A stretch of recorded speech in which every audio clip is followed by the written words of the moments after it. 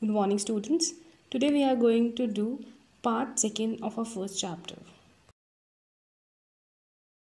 Three distinct components of economic activity. Economic activity के और कौन से तीन components हैं First is consumption, second is production, and third is distribution. So first we'll go with the consumption. I've already make you understand that what is consumption. Consumption is a thing that you consume to satisfy your desires. Here we as student of economics study behavior of human beings as a consumer or buyer of different goods and services for the satisfaction of their wants. So now what we learn? We learn the consumer behavior, human behavior as a consumer or a buyer to satisfy our desires and wants while their wants are unlimited. So here it is telling that our means are always in scarce. How do we allocate their given means or income to purchase of different goods and services given their market prices so that their satisfaction is maximized?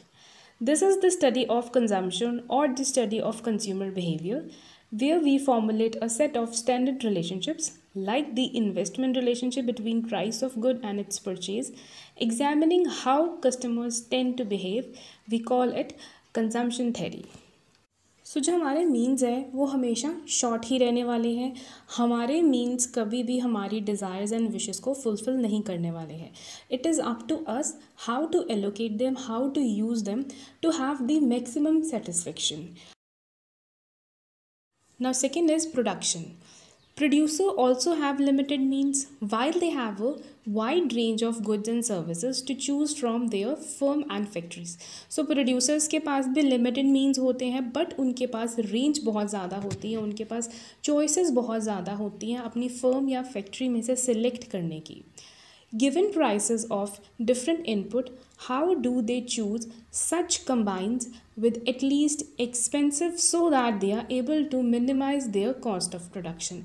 अभी उन्होंने चीज़ें कैसे select करनी है जहाँ से उनकी कम से कम प्रोडक्शन पे प्राइस हो कम से कम प्रोडक्शन पे खर्चा आए सो so, अब प्रोड्यूसर्स ने किस तरह की चीज़ें सिलेक्ट करनी है जिस पर हमारे एक्सपेंस कम से कम हो also given prices of different goods how do they choose to produce those the production of which offers them maximum revenue so that their profit is maximized and इस तरह से उन्होंने अपने प्रोडक्शन की सिलेक्शन करनी है कि उनका खर्चा तो कम से कम आए बट उनका जो रेवेन्यू जनरेशन है जो उनका प्रॉफिट हो वो मैक्सिमाइज हो this is the study of production और study of producers behaviour when we formulate a set of standard relationships explaining the behavior of producers or their production decision is called as production theory.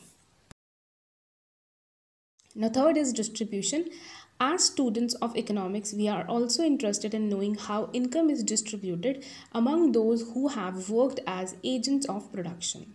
So now we learn what is distribution and हर एक person हर एक agent में किस तरह से income divide की जाती है distribute की जाती है, उन एजेंट्स में जो कि प्रोडक्शन प्रोसेस में हेल्पफुल थे या पार्टिसिपेट कर रहे थे।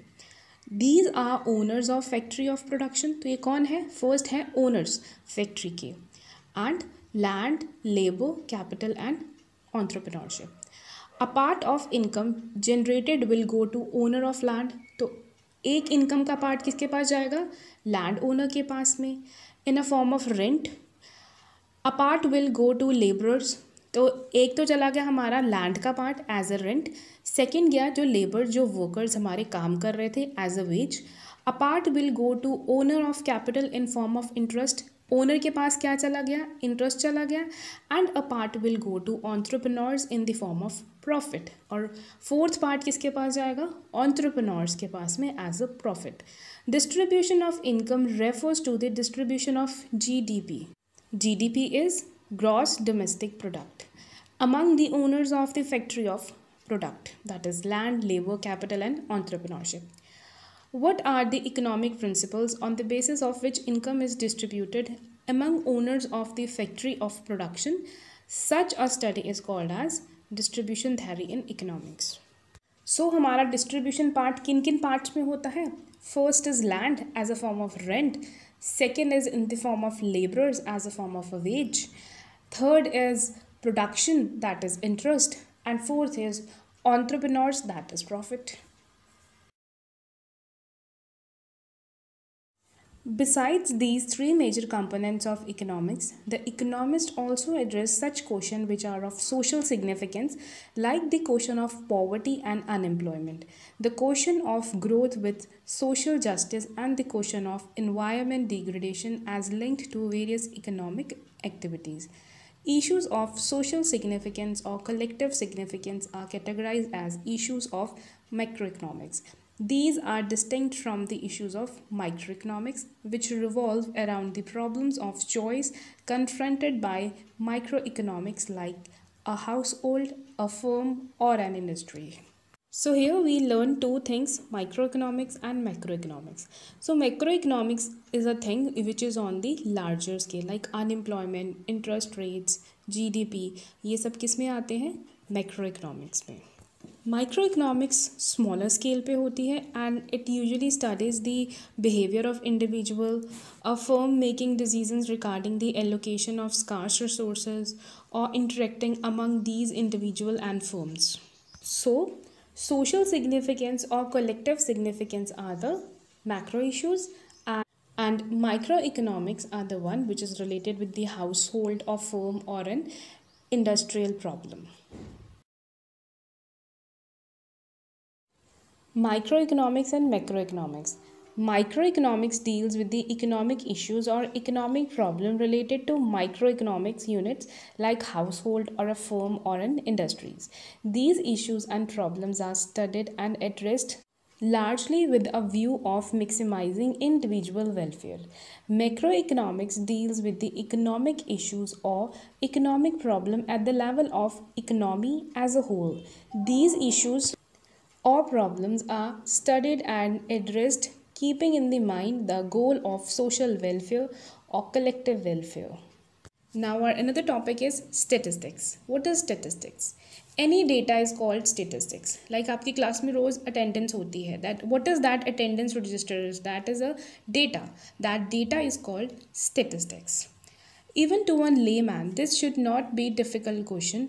If asked, to define statistics, we can explain a layman to say statistics is something like a score of quantitative information. So quantitative information means a thing which is in quantity. कुछ भी quantity में हो कोई भी data quantity में हो that is called statistics.